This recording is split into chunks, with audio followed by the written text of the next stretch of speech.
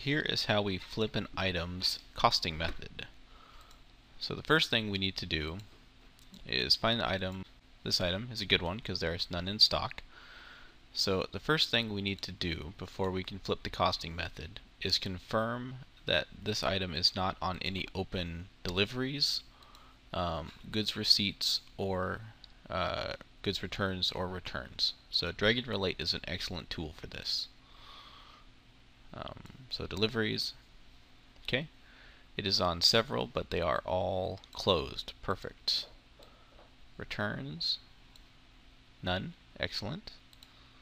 And on purchasing, we need to do a goods receipt PO, none, and a goods return, none. Excellent. So this passed the test. Basically, there is none in stock, and it is not on any open deliveries, returns, goods receipt POs, or goods returns.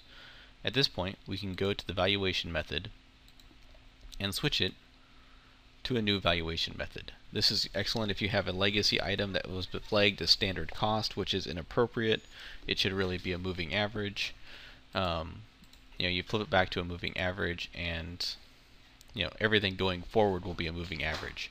If there was inventory in stock, you would issue the inventory out of stock, change the valuation method, and then re-receive it at the original price, um, so that you know everything would wash out nice and clean.